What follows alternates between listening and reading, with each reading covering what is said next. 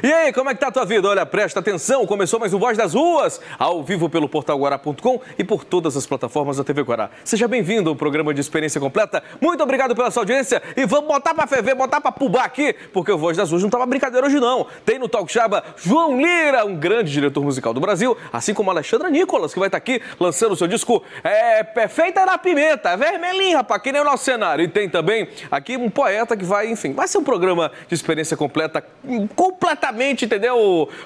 poético, inspirado, profundo. Vai ser legal e eu quero que você assista o Talk Chaba. Mas vamos agora ao jornalismo mais dinâmico da televisão do Maranhão, porque dizem que o filho bom sempre, né, para casa volta. Mas o filho ingrato volta também para buscar cascalho, então para esculhambar. Recebemos várias mensagens. Eu acho que tem até aí os prints, né, pra gente voltar para Coeb nós mandamos João Cavalho Júnior para resolver de uma vez por todas essa parada aí, porque nós temos muitas comunidades por aí, muitas solicitações. Então, essa da Coeb, vamos tentar ver se de uma vez por todas a prefeitura ouve a gente. Coloca aí.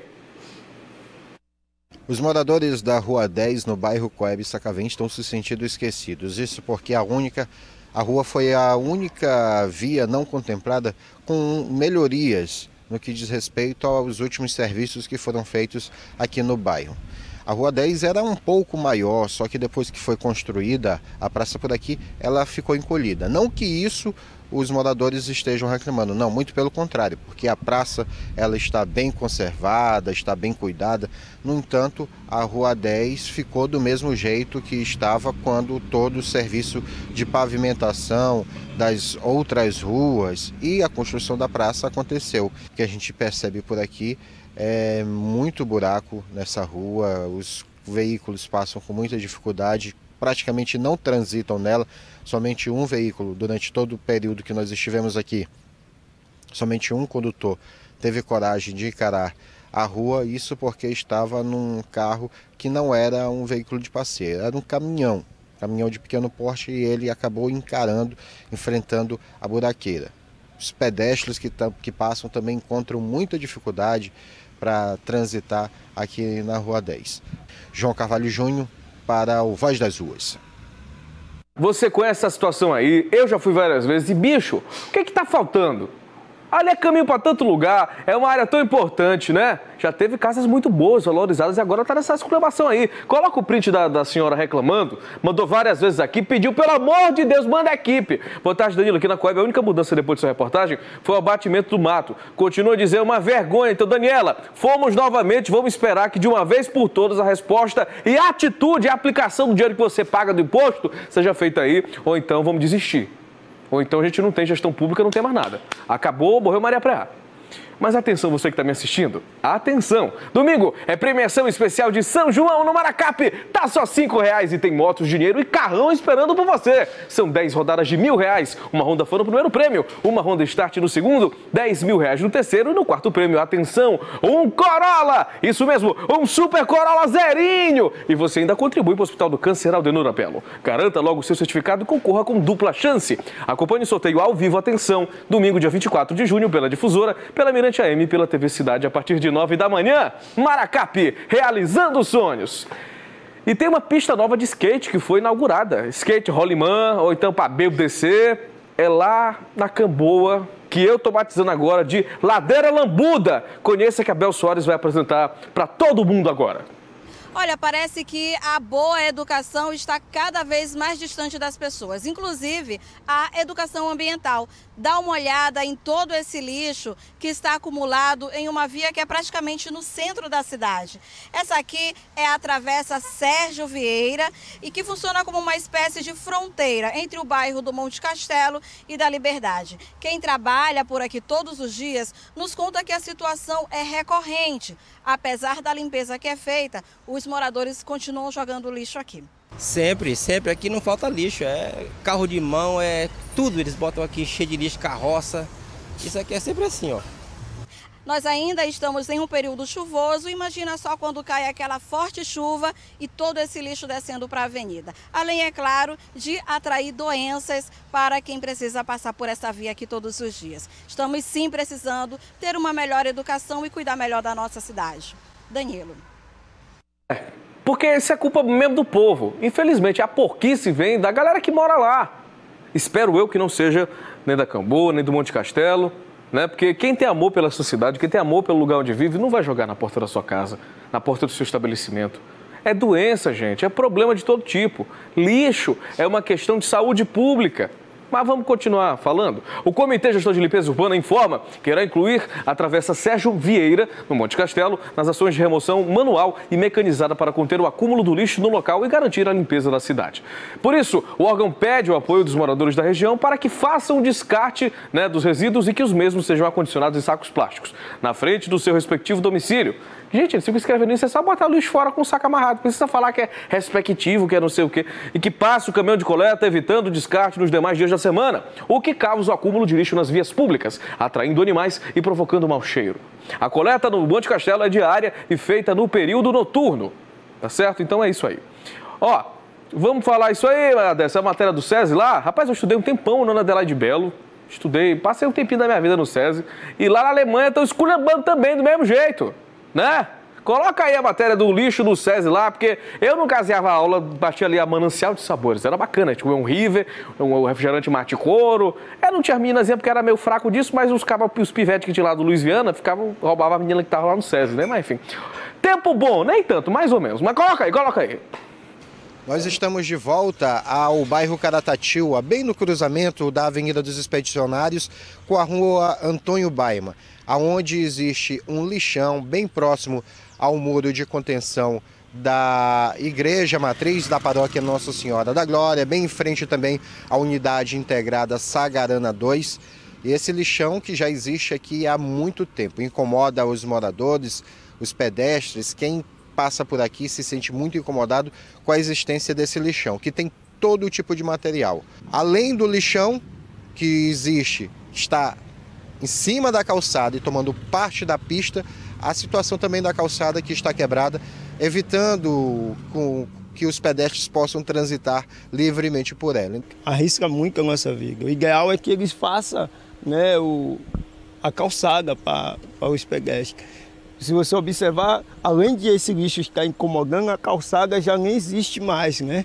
Então, se eles puderem fazer com que isso seja realizado, será uma vitória para a população daqui desse, dessa região. João Carvalho Júnior, para o Voz das Ruas. Muito obrigado, João Carvalho. É uma brincadeira, né? Porque, ó, como é que você fala? São Luís já foi a cidade mais limpa do Brasil, gente. É que o povo tem memória curta. São Luís já foi a cidade mais limpa do Brasil, considerada, premiada e tal. Né? E agora tá essa porquice, essa nojeira. Aí depois tem surto de dengue, ninguém nego não sabe o que é, tem surto de doença, tem surto de gripe, tem surto de tudo, e os caras não são os agentes, né? É, os bichos, os insetos que fazem tudo isso.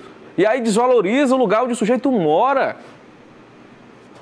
O Comitê Gestor de Limpeza Urbana informa que faz ações de remoção mecanizada duas vezes por semana. Ô, oh, rapaz, é só dizer que passa o carro do lixo. Não precisa dizer que é remoção mecanizada, porque é o gari que faz isso. O órgão destaca ainda que os resíduos acumulados no local são decorrentes do descarte irregular feito na área. É o povo jogando lixo no chão. Descarte irregular, você bota o nome do, do cachorro de você. Não precisa ficar complicando muito para o povo não entender né, que está regular segunda, quarta e sexta no período diurno. Em abril, o Comitê Gestor de Limpeza Urbana realizou um bota fora, agora bota fora, para recolhimento de entulhos, móveis velhos e bagulhos volumosos. É égua, quem escreveu isso aqui? De combater o descarte irregular no bairro. Mas vamos falar de assunto muito sério? Gente, isso aqui é delicado. A AIDS ainda é um problema muito grave, grave demais aqui no Maranhão. Muita atenção, porque aqui no nosso estado estamos com números mais do que preocupantes. Assista agora. Segundo o levantamento feito pelo Ministério da Saúde, nos últimos 32 anos, aqui no Maranhão foram registrados 17.773 casos de AIDS em pessoas com idades entre 20 a 30 anos, a maioria homens. São Luís possui 45% das notificações, ou seja, 8.111 casos a gente continua tendo recrudescimento dos casos, a gente continua tendo aumento dos casos, sobretudo na população mais jovem. O Congresso é a oportunidade que a gente vai ter para construir políticas em conjunto. Afinal, a pergunta que a gente tem que fazer é: qual é a maneira eficaz de eu me comunicar com a juventude para que ela possa ter ah, um ato sexual ah, preventivo, para que ela não corra o risco de contrair e propagar doenças. O Ministério da Saúde alerta também para o aumento da doença a partir de 2015 entre pessoas com idades de 15 a 24 anos.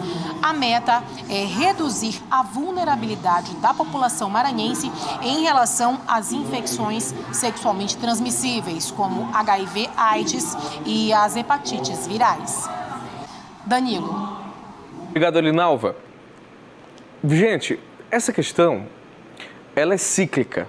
Né? Há uma diminuição, há um certo grupo que fica numa exposição maior, né?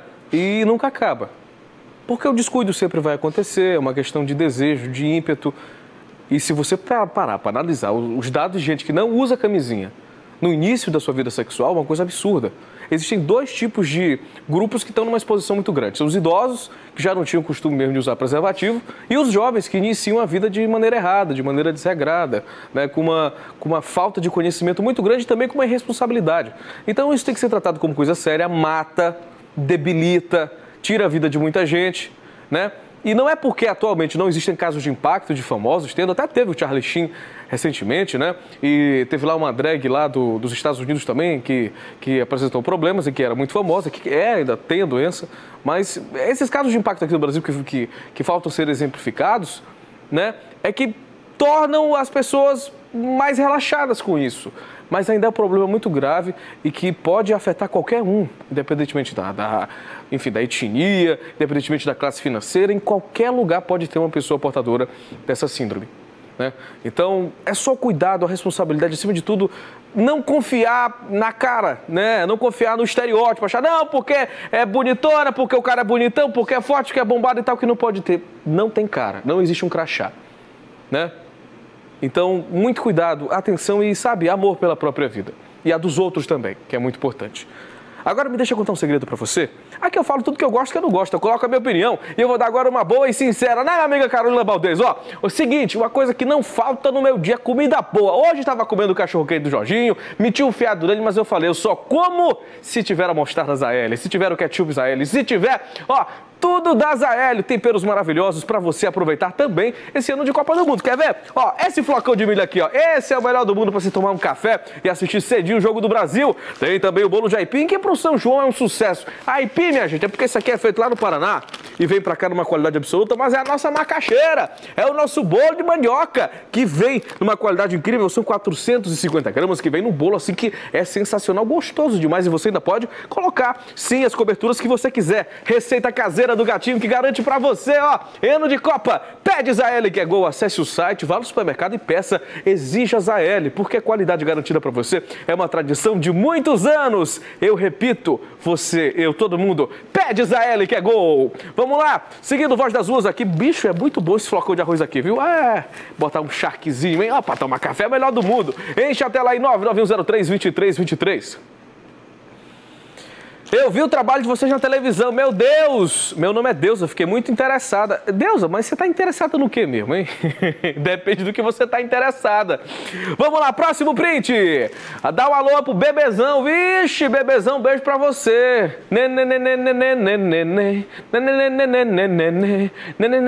Eu vou dançar o carimbó. Abraço aí, bebezão. Tá crescido, tá mamando, tá bem, né? Alô, Quixaba, quero ir no programa. Se for Zé da Mata, não pode. Nós vamos fazer sexta-feira aqui um, um, Vamos assistir a Copa do Mundo, transmitindo o Talk Chaba, a segunda tela. E eu não quero nem saber de Zé da Mata aqui, viu? Não, não dá Marula nem Martins para Zé da Mata. Vamos lá, manda sua mensagem 99103 2323 é o VDR, experiência completa. Segura aí que já a gente volta.